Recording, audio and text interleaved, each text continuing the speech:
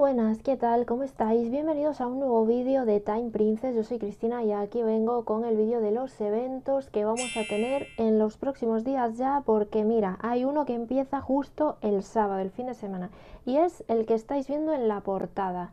Ese conjunto que estáis viendo ahí es el conjunto de élite. Ha llegado el evento temido por muchos Así que vamos a echarle un vistazo y empezamos pues por el mismo, ¿vale? Campeonato de viajeros de élite. Empieza, como muchos sospechábamos, el día 30. Es un sábado, gracias que coincide con el evento de encuentros por dos, porque ya sabéis que cada día del evento de élite hay que hacer el gasto de un recurso. Os explicaré un poco al final del vídeo para la gente que sea mm, novata en el juego o que no entienda todavía muy bien el evento. Os daré unos tips también, unos consejos pero en principio solo os voy a decir que cada día hay que gastar un tipo de recurso y pues coincide que el día 30, que es sábado de encuentros por dos, pues coincide con el día de gasto de estamina. Entonces, perfecto, porque por lo menos ya que vas a hacer un gran gasto de estamina, pues que te compense, porque te va a dar el doble de materiales eh, o prendas o lo que hagas en los encuentros. Y finaliza el día 4. El orden de gasto de recursos es el mismo que el élite anterior, es decir, primer día estamina, segundo diamantes, tercero en este caso es darle regalos a los acompañantes para poder subir voluntad con ellos, el cuarto día gasto de tickets dorados de Jerry. Y el quinto día gasto total y pues aquí sí que no lo han aclarado, pero mm, vamos a pensar que es como en el evento anterior, que es gasto total de todos los recursos mencionados anteriormente más contribución.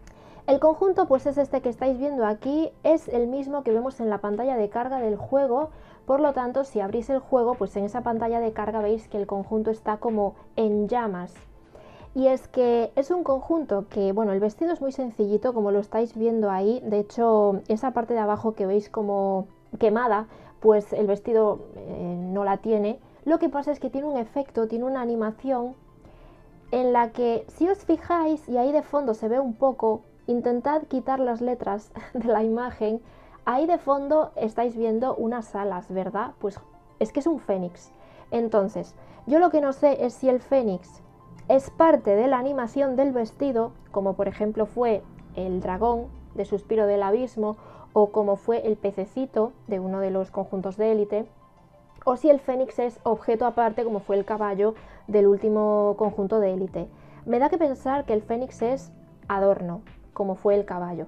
Entonces, ese fénix que estáis viendo ahí en la imagen da como unas vueltas alrededor de la muñequita y luego aparece por detrás, despliega sus alas tal y como estáis viendo ahí en la imagen y entonces es cuando produce ese efecto de fuego e incendia toda la muñeca y por lo tanto pues el vestido, ¿vale? Es una animación preciosa porque el vestido en sí ya veis que no es la gran cosa, es un vestido bastante sencillito, muy parecido a otros que hemos tenido en el juego, pero lo espectacular sin duda es la animación.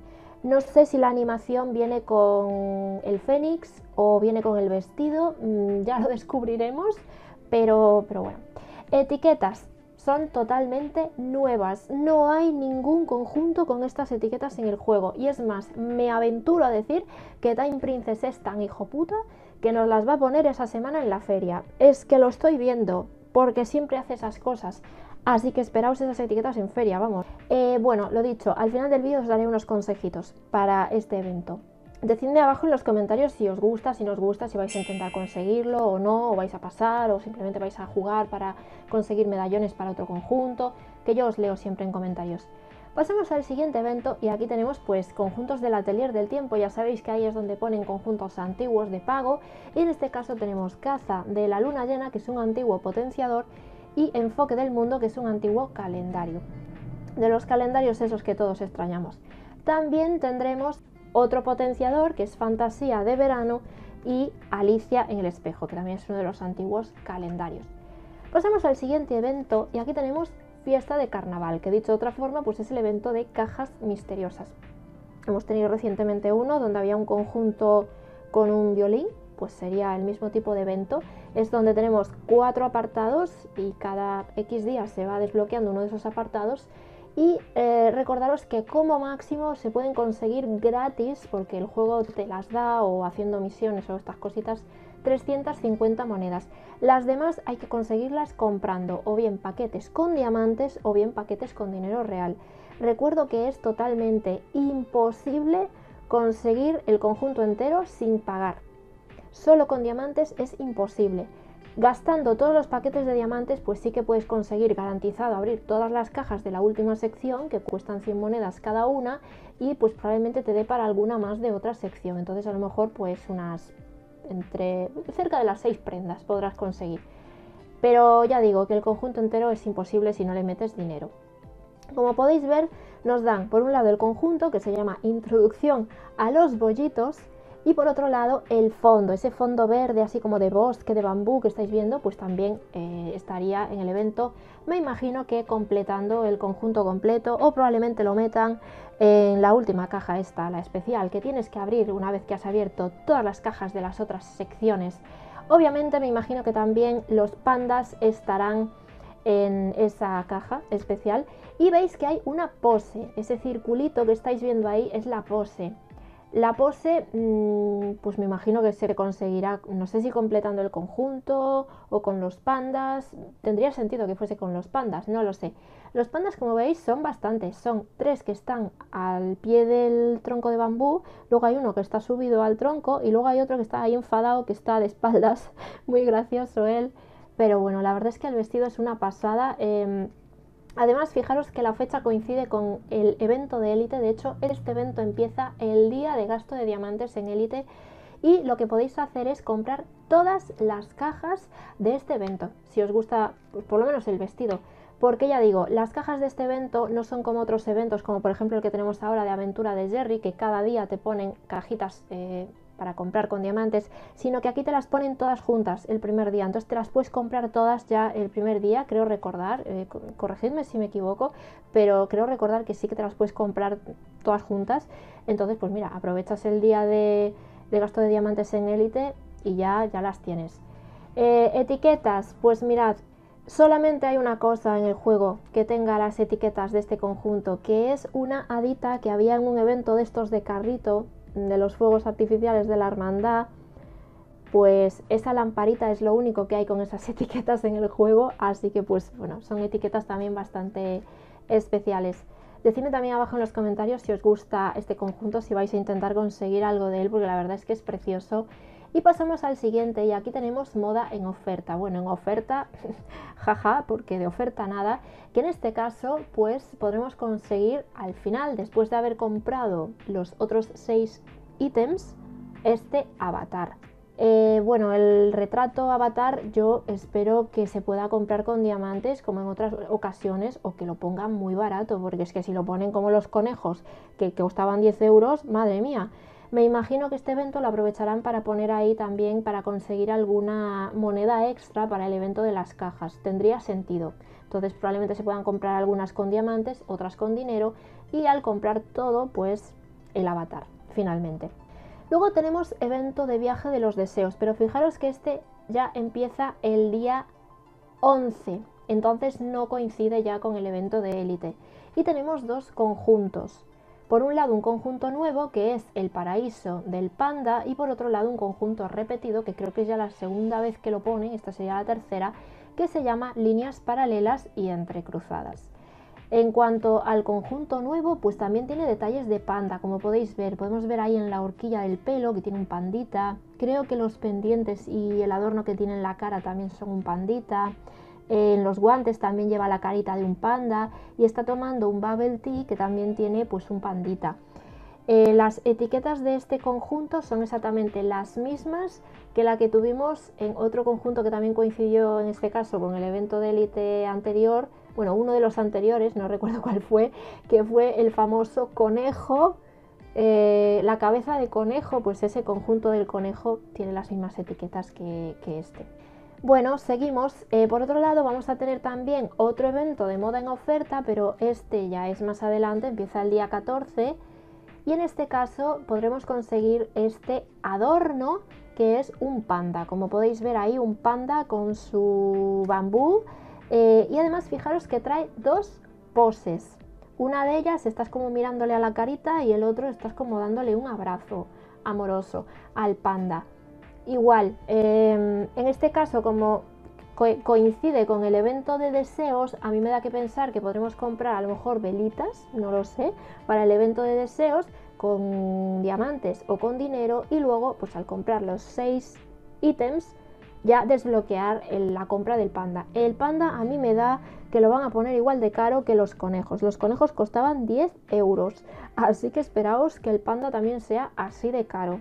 Así no os decepcionáis, que luego es más barato, oye, pues mira, fenomenal, fiesta y todos felices, pero yo ya me espero que cueste los 10 euros porque está en Princess y le encanta poner las cosas súper caras. Bueno, respecto a los eventos nada más, entonces voy a aprovechar ahora para daros unos consejitos muy rápidos acerca del evento de élite, sobre todo para la gente que todavía no acabe de entender este evento o que cree que es imposible conseguir nada en este evento o que todavía no se hayan enterado muy bien cómo va. Mirad, al evento de élite yo os aconsejo que lleguéis con un poco de ahorro. No te metas en un evento de élite sin haber ahorrado estamina, diamantes, sobre todo estamina, tickets y materiales. Eso es lo que más fácil me parece de ahorrar, porque los diamantes pues ya está claro que con tanto evento es muy complicado ahorrar diamantes.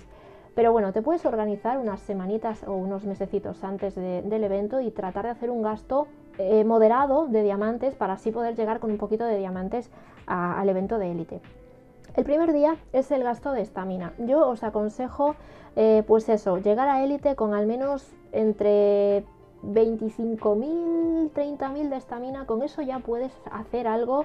También es verdad que depende de en qué grupo te toque, porque si te toca en un grupo donde hay pura ballena asiática o rusa, estás perdido.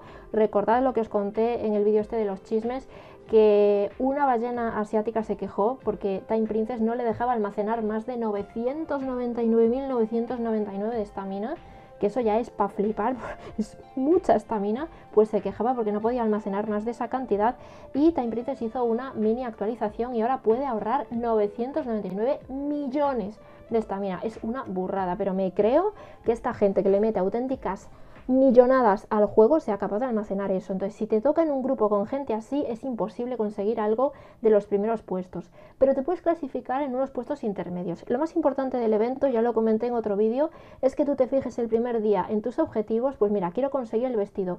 ¿Cuántos medallones necesito? 12. Vale, pues ¿en qué rango tengo que quedar para poder conseguir esos 12 medallones?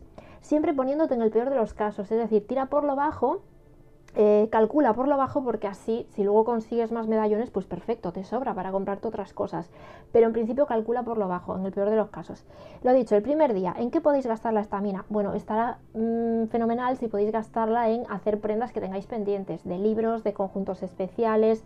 Claro, la gente que, como yo, no tengáis en qué gastar la estamina, pues bueno, eh, puede ser un poco previsor y unos semanas o meses antes decir, bueno, pues no voy a completar los libros al 100% o no voy a hacer los conjuntos especiales. Yo, por ejemplo, tengo el conjunto del libro derivado de Viera que nos dieron sin hacer, pues porque he dicho, voy a hacerlo durante élite.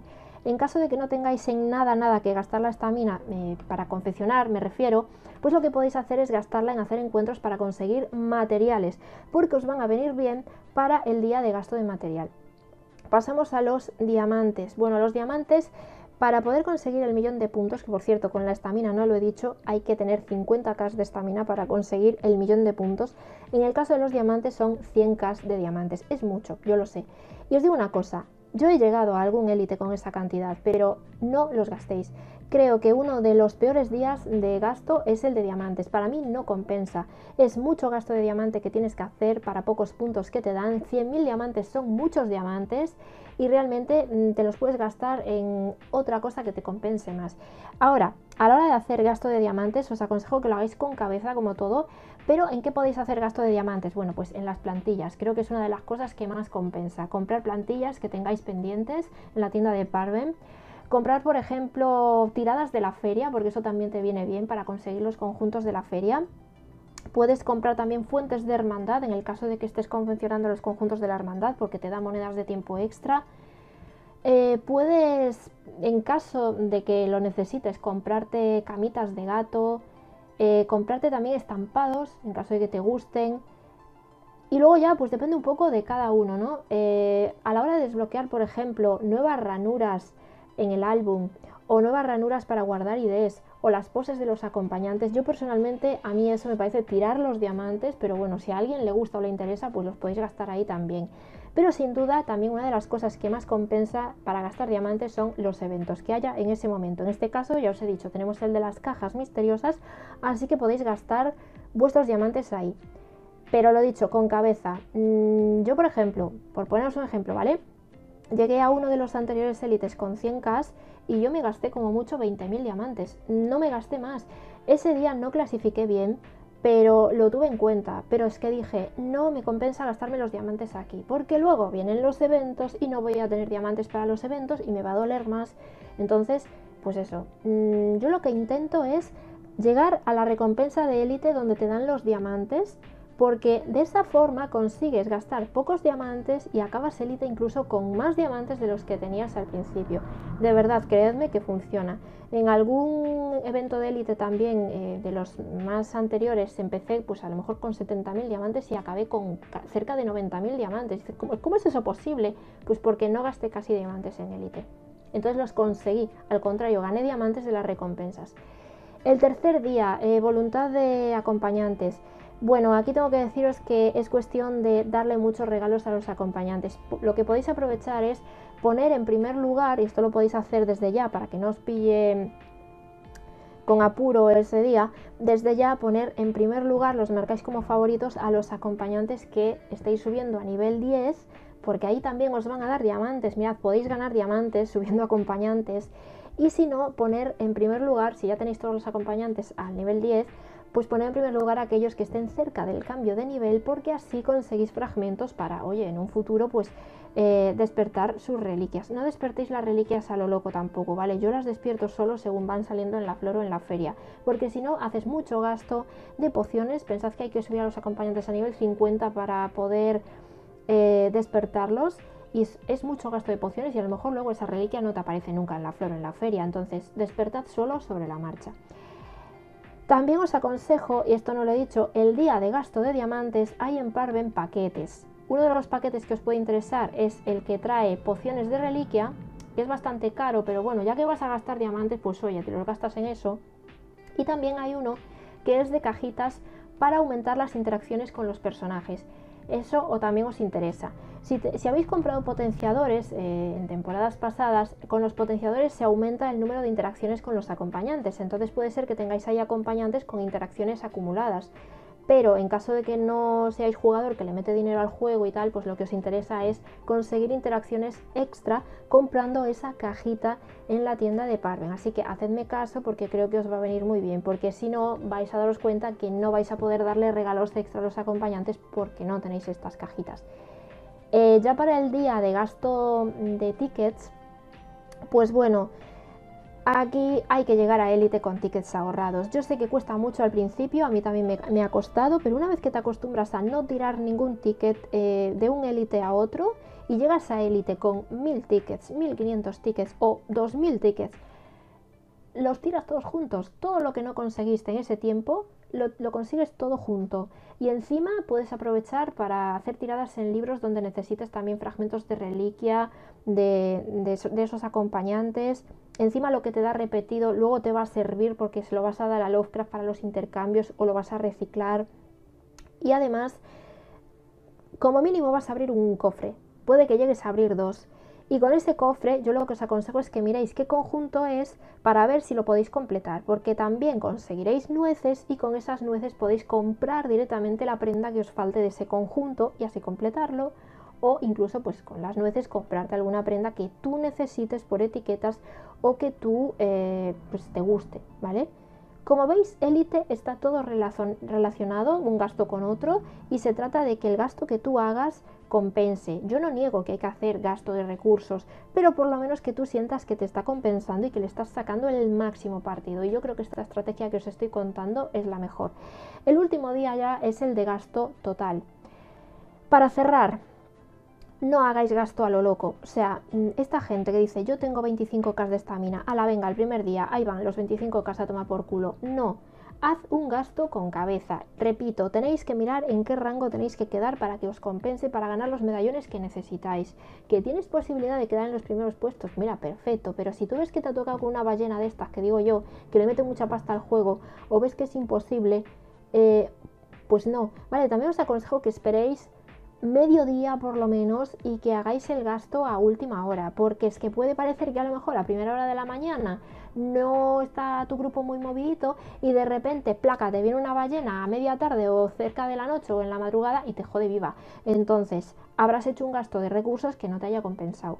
Por eso, siempre vigilar mucho a los rivales, intentar guardar el puesto que te has fijado como objetivo y con eso vais a ver que podéis conseguir muchos medallones el conjunto entero, pues probablemente no, pero ya digo, depende del grupo en el que te toque, eh, pero sí que al menos vas a poder conseguir las prendas que tú quieras, eh, vestido, adorno, peluca y estas cosas.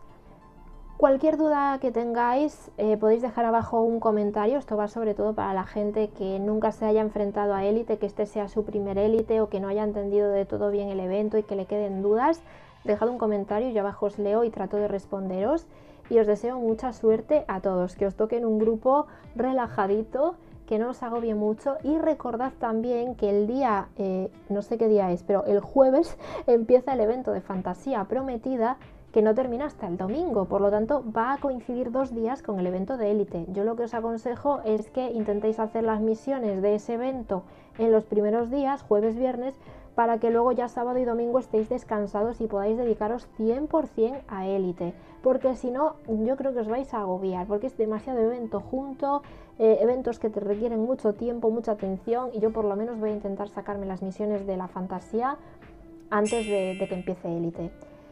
Ahora sí que sí, por mi parte nada más, suscribiros al canal si no lo habéis hecho todavía y yo me despido hasta el próximo vídeo.